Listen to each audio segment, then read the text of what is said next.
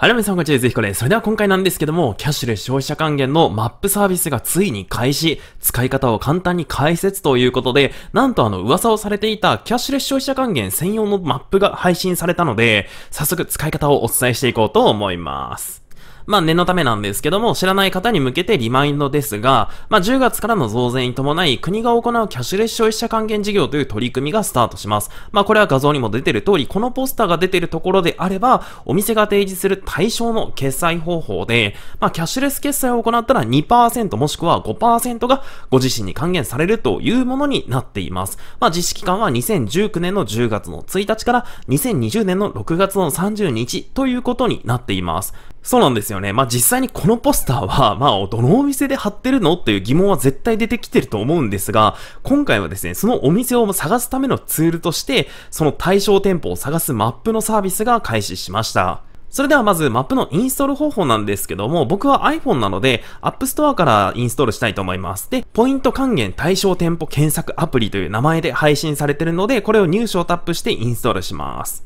そしてインストールしたらこんな画面になります。いつものキャッシュレス消費者還元のマークですね。そしたら位置情報のポップアップが出てくるので、これは許可をしてください。で、僕の場合は福岡県に住んでるので、博多駅をピックアップしていこうと思います。そしたら上のこのエリアを検索というところをタップして、そうするとこんな感じに黄色いピンがたくさん出てきます。まあ試しに一つ選択してみたいと思います。選択したのがこちらの止め手は博多筑紫口店ですね。そしたら左下に還元率5%と出てると思います。まあ、ちなみにこの止めてばと書いてあるところをタップしたら、こんな風に QR コード PayPay と出てくると思います。そうなんですよ。ここで実際に PayPay で決済したら、この5%が還元されますよということになります。ちなみに PayPay 独自で開催されてるキャンペーンとかは表示がされてないのでお気をつけください。まあ、せっかくなので他のお店でこちらのセブンイレブンも見てみましょう。セブンイレブン博多駅東2丁目店というところで、まあ、こちらはご覧の通り還元率2%の表示ですね。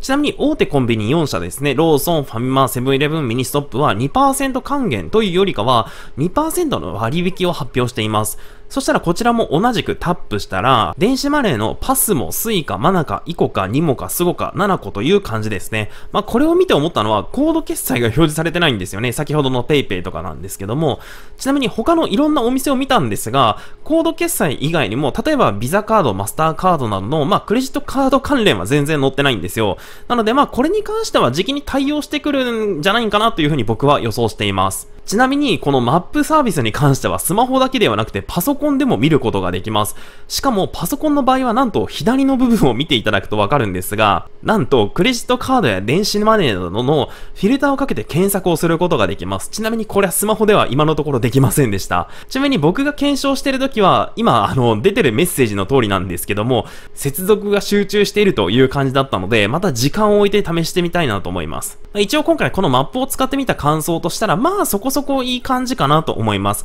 まあそこそこの理由としたら、スマホ版の方でもフィルターをかけて検索をかけることもできないということと、まあやっぱり先ほども言ったクレジットカードなどの他の決済方法の記載がなかったので、まあそれは今後に期待というところですね。まあちなみに一つ注意点としたら、今回アプリがリリースされたばかりなので、まあインストールに時間がかかったりとか、うまく使えなかったりすることがあるので、その場合はちょっと時間を置いてとか、日をまたいでまた試すことをお勧めします。そんなこんなで今回はキャッシュレス消費者還元のマップについて解説をしました。まあ、このマップに関しては10月以降はかなり役に立つツールだと思いますので、事前にまあ勉強がてらインストールしていろいろと試してみるのもいいと思います。まあ、ここで使えてここで使えないんだっていう感じにですね。まあ、インストールするためのリンクも下の概要欄に載せておきますので、気になる方はチェックしてみてください。ということで本日の動画は以上です。ご視聴どうもありがとうございました。